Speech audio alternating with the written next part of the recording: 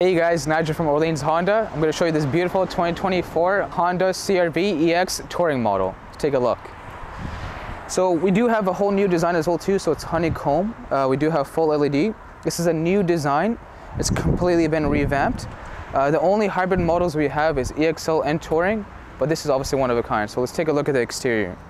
As you walk around, you do get that option. You do get those options as well too with the black accented rims that comes on the Touring model and the EXL hybrid model, which is a great addition.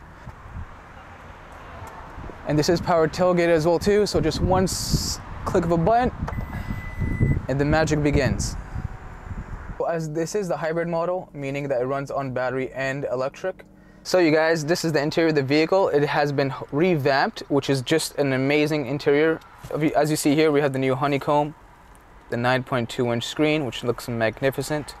We have the dual climate control, we have heated uh, seats as well too. Obviously rear heated seat. You have your USB-C mode, your regular USB, and the best part, which I love, wireless CarPlay.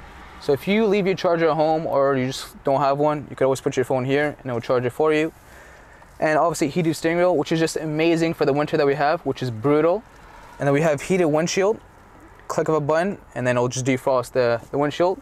As you see here too, we have black headliner. My hands are always dirty, so I can just touch it and they will leave no fingerprints or just any disgusting prints.